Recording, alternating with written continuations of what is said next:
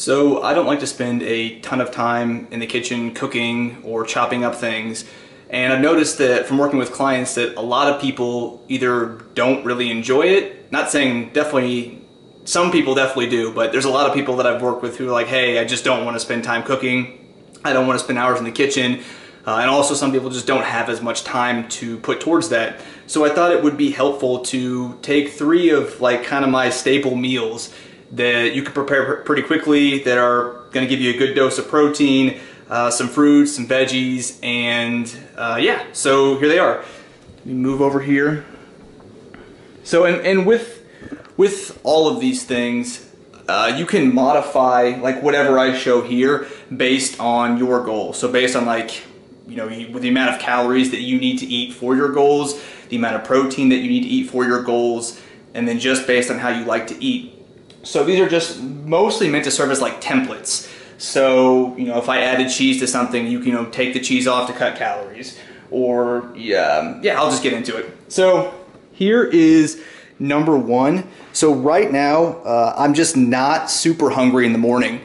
And I like to just some, want something that's gonna be high in protein, uh, gonna be easy to eat. And I don't have to spend like forever trying to eat it.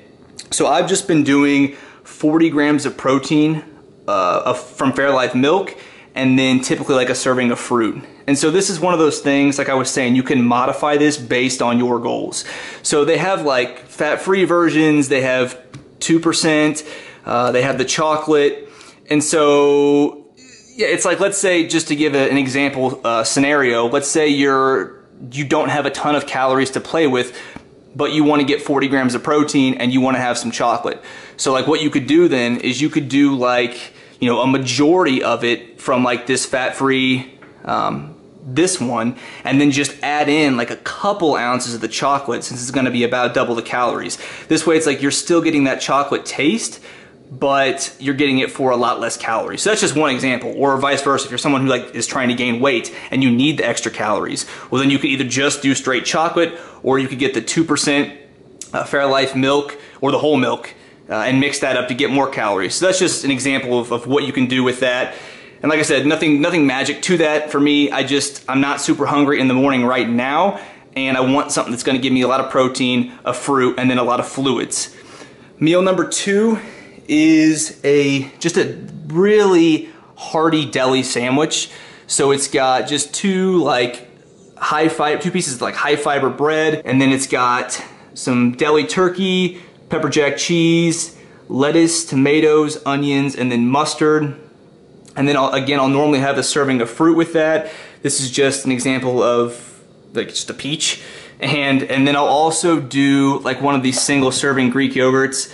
This one is the mixed berry, which is really good. And I do, the reason I really add that is to help bump the protein up just because this gets kind of weird if you just, if, like, if you're trying to get, let's say like 40-ish grams of protein or, you know, 45 or something, that just ends up being like a inch of deli meat, uh, which isn't the most tasty. So I just would rather have like something like that on the side. And then heck, even to like speed up time if you want, you can pre-slice your veggies and like Tupperware them. Like, I mean, I don't like to do like a ton of days in advance because then they, sometimes they're, they don't taste as fresh. But like you could do a couple days and you'll be good. And the third meal. So I have like the recipe for how to make this on my Instagram. I will, in the video, I'll have pop up what day it was published so you can, if you want, you can go back and see how I made this. But these are just buffalo chicken wraps. So I got two wraps here. I got about four ounces of grilled chicken breast. And you can use whatever buffalo sauce you want. This is just one that, that I've used for a long time. I like the taste of it. It's low calorie. So yeah, I'll use that sauce and then I'll use about an, uh, a serving slash an ounce of blue cheese and then I'll do some diced celery, shredded carrots, and just whatever lettuce I have. And then normally I can't fit all the chicken and all the veggies in the two wraps. Plus I want to get more veggies in this meal than just like the little bit that I can fit in this wrap. So what I'll do then is I'll take all the extra ingredients and I'll make a little side salad and I'll add some dressing on there or something if I want. If not, the sauce from the from the chicken is enough to flavor it. Either one.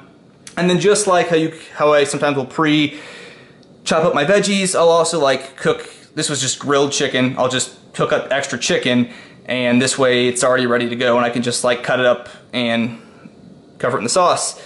So yeah, those are those are just three three meals, three sample meals. And like I said again, these are just I don't think that lighting's very good.